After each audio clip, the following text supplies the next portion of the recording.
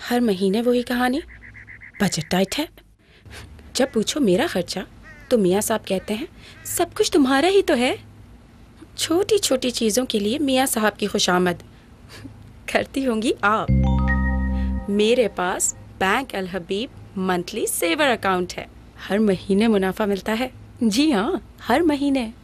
और जब चाहो, पैसे निकालने की सहूलत भी। आपके पास सेविंग अकाउंट है? वही ना जिस पे मुनाफा महीनों बाद मिलता है।